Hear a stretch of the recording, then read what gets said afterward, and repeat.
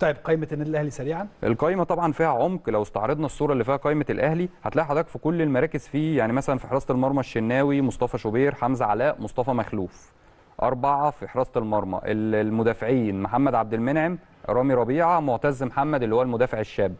الاثنين المساكين ياسر إبراهيم ومحمود متولي برضو المساك اليمين.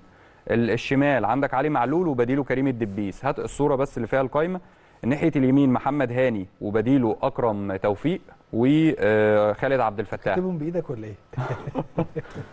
مر- مروان عطية وكوكا الاثنين الارتكاز اللي هم ده مركز ستة اللي هو كوكا أحمد نبيل عارف برضه كوكا. معلش قبل ما نسيب النقطة دي محمد عبد المنعم رامي ربيعة معتز ممكن ياسر إبراهيم محمود متولي في أحمد عبدين برضه آه أحمد يعني عبدين في 2006 في مواليد 2006 2006 آه. من ال- ممكن يتحط. ممكن يتحط يبقى ثلاثة وثلاثة آه فاهم؟ بس دي القايمه اللي سافرت يعني تعتبر دي آه، القايمه اللي الناس اللي سافرت آه سافرت،. النمسا فهاني وأكرم توفيق وخالد عبد الفتاح ناحية اليمين.